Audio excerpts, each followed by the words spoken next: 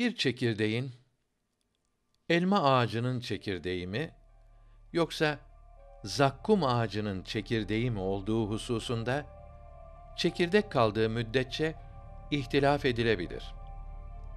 O çekirdek toprağa atılıp sümbüllense, dal, budak, meyve ve çiçek verse, artık onun hakkında ihtilaf edilemez ve hangi ağacın çekirdeği olduğu hususunda tartışılamaz.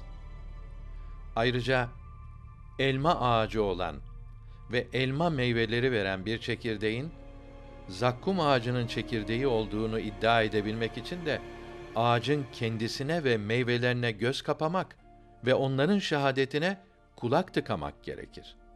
Zira ağacın her bir meyvesi kendine mahsus bir lisanla ağacımızın çekirdeği elma çekirdeğidir diyerek bu çekirdeğin zakkum çekirdeği olduğunu iddia eden kişiyi tekzip eder ve parmağını kör olası gözüne sokar. Aynen bunun gibi Hazreti Muhammed sallallahu aleyhi ve sellem de bir çekirdektir.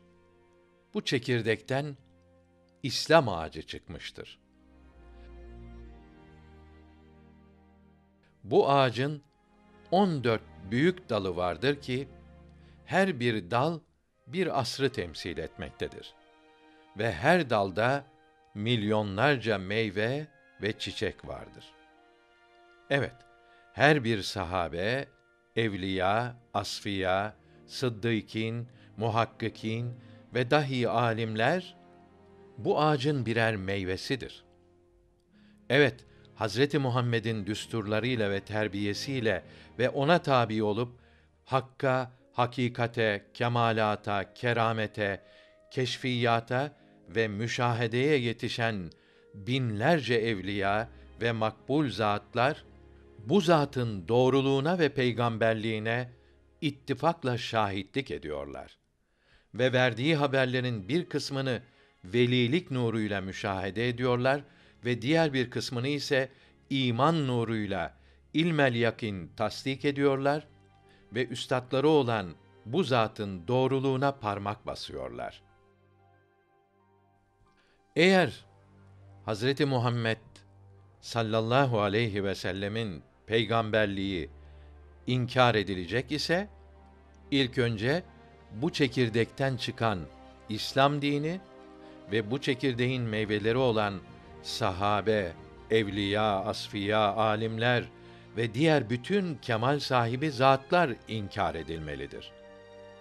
Yoksa onlar kendilerindeki kemali çekirdekleri olan Hazreti Muhammed'den alıyorlar.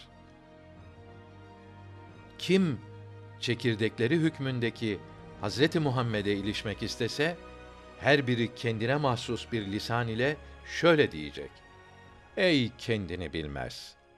Çekirdeğimize hangi hak ile saldırıyorsun? Bizlere bak.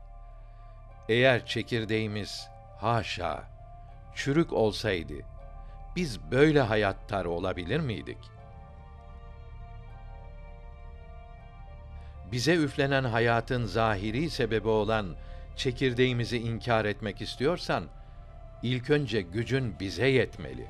Bizim sesimizi kısmalı ve kemalimize gölge düşürmelisin. Bunu yapmak ise ey sersem ne senin ne de başkasının haddi değildir.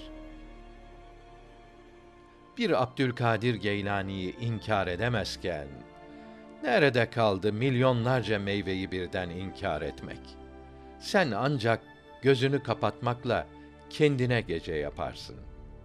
Gözünü aç ve inkara çalıştığın çekirdekten ne kadar azametli ve doğru bir ağacın çıktığını gör ve ayıl.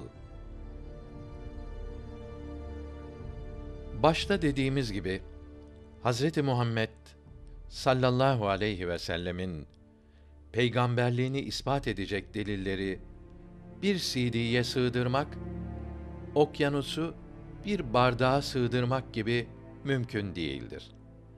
Bizler efendimizin peygamberliğinin delillerini hazırlamış olduğumuz Hazreti Muhammed sallallahu aleyhi ve selleme iman eserine havale ederek son söz olarak deriz ki Eşhedü en la ilahe illallah ve eşhedü enne Muhammeden abduhu ve rasulühü.